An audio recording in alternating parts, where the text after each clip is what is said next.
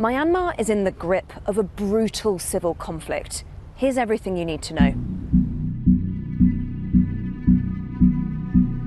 Myanmar, formerly known as Burma, is an ethnically diverse nation in Southeast Asia.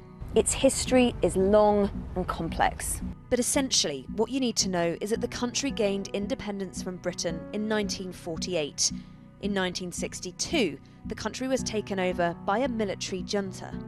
They ruled for decades until 2011, when the country started its journey towards democracy, albeit one where 25% of seats in the parliament would be reserved for the military. In 2015, the face of the pro democracy movement Aung San Suu Kyi took power. But this wouldn't last long. In 2021, the military took over the country again, claiming the 2020 election was fraudulent and corrupt.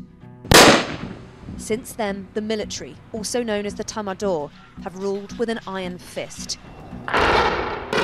With reports of mass killings, thousands of arrests, and human rights abuses across the country.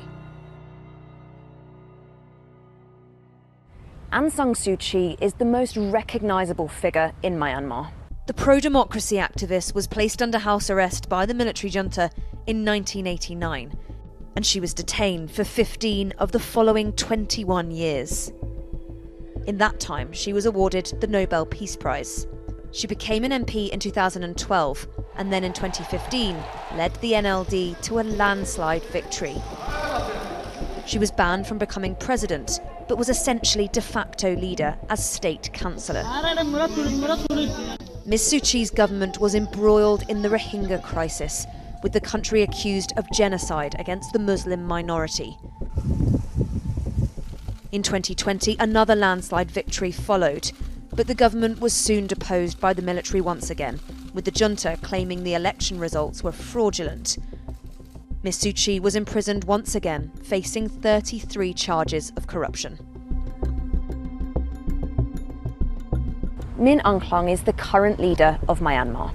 He once worked closely with Ms Suu Kyi, but in 2021 he led the military coup, declaring a state of emergency in the country.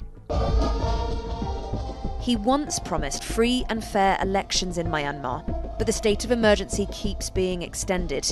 ကျွန်တော်တို့ဆိုအနေနဲ့တနင်္ဂနွေအကြမ်းလန့်မရှိအထူးရွေးကောက်ပွဲကျင်းပပေးနိုင်ဖို့မေပေးကြမဲ့တိုင်းရင်းသားနိုင်ငံသားအားလုံးမတရားမှုများမှကင်းဝေးစေဖို့ He's been criticised by international groups for the widespread human rights abuses in the country. The junta are not ruling unopposed. Soon after the military coup, pro democracy groups combined to form the National Unity Government, essentially a government in exile. From this emerged the People's Defence Force, an armed wing of the NUG.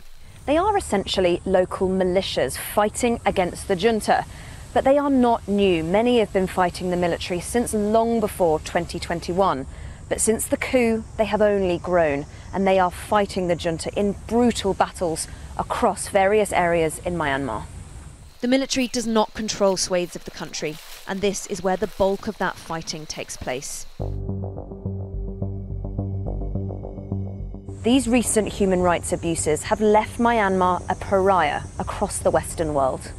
Countries including the US, the UK, Australia, and Canada have introduced sanctions on the country. Myanmar does, however, have support from Russia and China, with the UN saying they are sending arms and other material to the military junta. Russian and Chinese aircraft are being used in airstrikes on the rebels, sometimes targeting hospitals.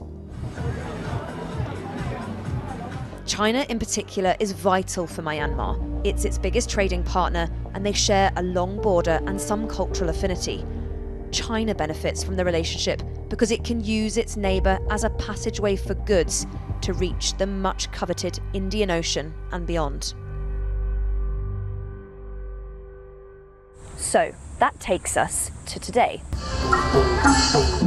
The military junta remains in control, with no sign of those free and fair elections that were due to take place in August 2023. Instead, they are leading an authoritarian crackdown on dissenters, using brutal violence, arrests, and torture on its enemies. Anti military protests are difficult, with the military cracking down on any demonstrations. PDF fighters continue their guerrilla attacks on the military. It's thought they have tens of thousands of troops. But it's a fragmented force, and one that's up against a military junta with decades of experience in crushing resistance. So for now, it seems that Myanmar is locked in this brutal stalemate, and it has no sign of ending anytime soon.